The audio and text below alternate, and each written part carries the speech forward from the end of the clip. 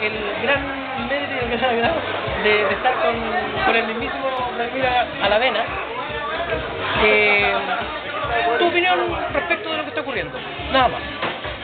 Eh, primero que nada un desafío porque soy yo el que está citando a la gente.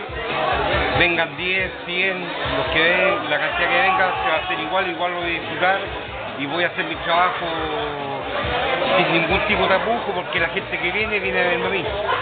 Entonces voy a poder desahogarme y a mi entero gusto. Si bien es cierto, nosotros digamos que te conocemos más de cerca, sabemos que este trabajo eh, ya tiene un par de grabaciones anteriores. ¿Esta grabación crees que sea la definitiva como para tener un poco más de Vladimir después de esto o va a concretar esto en, en otros términos? Digamos, en términos de, de sello y lo que se pueda venir.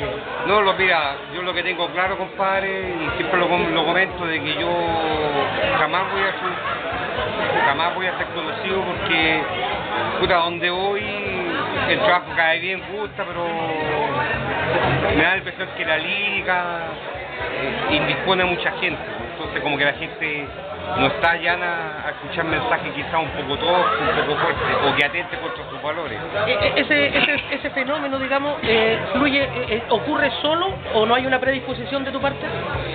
No, yo nací así.